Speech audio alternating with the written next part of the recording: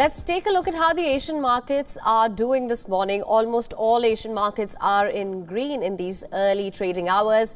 That's mostly due to US President Joe Biden and Speaker of House Kevin McCarthy hinting at reaching a consensus on the debt ceiling standoff. After this is all over.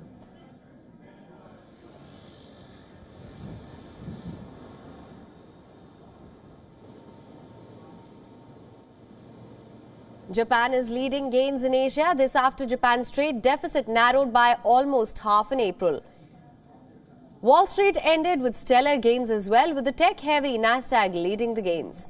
Overall, investor sentiment is bright. Cryptos have rebounded overnight, with major coins gaining up to 2%. Bitcoin is back above $27,000, while Ethereum is close to $1,900. Other cryptos making big moves are Litecoin and Ripple, which are up 4%. On to the commodities market now. Brent crude is back over $75, uh, $75 per barrel, while the US crude is above $72 per barrel. Brent is gaining as the dollar strengthens against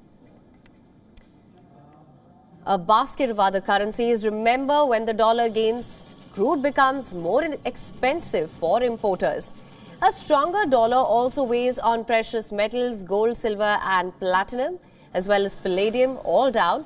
Gold is still close to $2,000 per ounce, but analysts predict gold could rally if the two American parties fail to end their deadlock on the U.S. debt ceiling.